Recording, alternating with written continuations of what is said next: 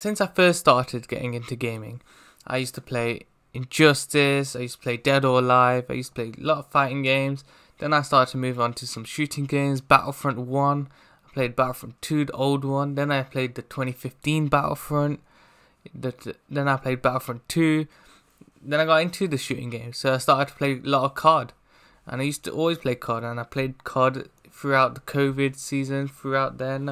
I was mixing it up from fighting games to Call of Duty, Battlefront. I loved those. So then I, I heard about Elden Ring and I decided to play it. So for my first Souls game, Elden Ring, I got to say, it's just absolutely beautiful, beautiful game. Visually beautiful, game wise handling, it's just so good. So from from the gameplay to the story and to the diversity of, in weapons to use, there's so many. There's so many classes to choose from, as well as the lore and the atmosphere of the game is just it's just breathtaking. So the game takes place in a world created by the legendary fantasy author George R. R. Martin, who is known for his work for Game of Thrones and is working on the Song of Ice and Fire. The world of Elden Ring is a dark and mysterious one, filled with ancient ruins, dangerous creatures, and powerful magic. Players will take on a role of the Tarnished, the protagonist of the game, who must journey through this world battling enemies, monsters, and discovering secrets of the Erd Tree, and try to claim the title of Elden Lord. The most exciting features of Elden Ring is its open world design. Unlike other FromSoft games, which were more a straight path in nature, Elden Ring allows players to explore a vast world filled with hidden paths and secrets. The game also features a dynamic weather system, which can affect gameplay and unlock unique optional bosses such as the Night's Cavalry, which only appears at night, and combat in Elden Ring is fast paced and challenging, requiring players to use a variety of weapons, spells, abilities to overcome foes. The game also introduces customable weapons options such as the Ash of Wars, which can create uniqueness for each weapon. Overall, for me, Elden Ring, it looks incredible and is an amazing first experience for my first Souls game. With its open world design, challenging combat, and its intriguing story, it does deliver an forgettable experience for my first RPG game. Can't wait for the DLC, Shadows of the Erd Tree, and any new RPG games coming out. So if you wish to watch my Elden Ring first playthrough experience, check out my gaming channel. I'm uploading my whole first playthrough on there. I will be also uploading more RPG games because now I'm fully into them.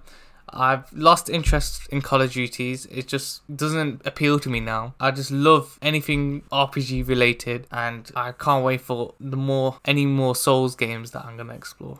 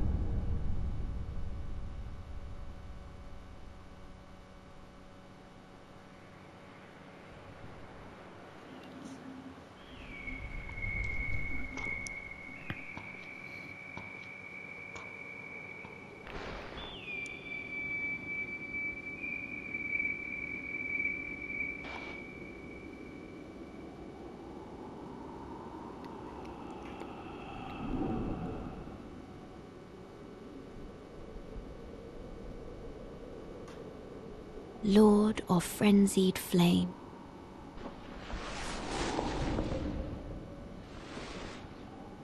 I will seek you as far as you may travel.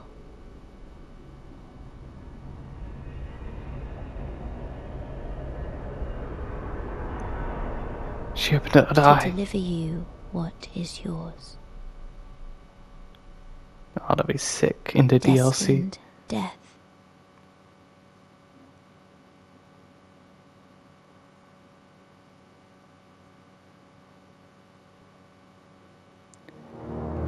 Da, da. Beautiful. Finished the game finally. Honestly, I love this game. For subscribing, thank you for viewing. I love you guys, honestly. I love uploading, I love playing games. And I don't do this for fame, I just do this for fun. It's been a hell of a journey, and I'm proud you guys stuck with me and watched to the end. So thank you for watching. I'll see you next time where I unlock all the endings and platinum this game.